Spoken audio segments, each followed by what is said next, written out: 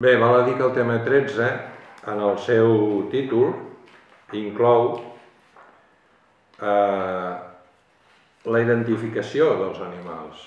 Clar, això implica que haurem d'aprendre a identificar aquests animals.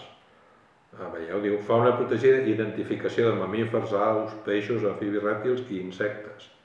Clar, això és complicadíssim.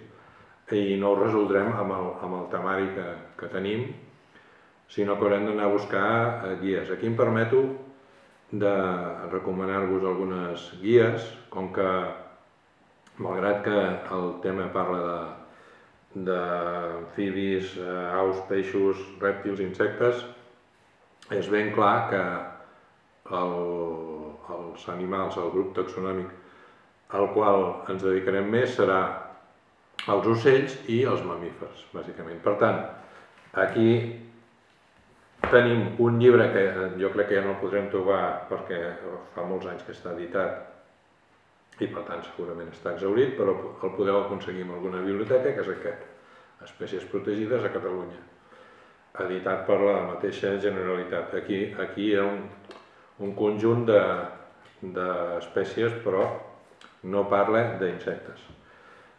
En el tema ocells sí que està molt clar quina és la, la guia diguéssim que tothom a tots els ornitòlegs fan servir a Catalunya, que és aquesta, la guia d'ocells d'Europa eh, i regió mediterrània, de Svensson i Mularney. És la millor i si la podeu comprar, també la, la podem obtenir amb aplicació pel, pel mòbil i és molt més barata i a més a més molt més pràctica perquè inclou els sons. Quan a mamífers tenim la guia de mamí, una guia de mamífers editada per Links, que, que està força bé i ja n'hi ha prou perquè no hi ha tantes espècies de mamífers com d'ocells. I amfibis i rèptils tenim aquesta guia d'amfibis rèptils de Catalunya, País Valencià i Balears, que també està molt bé.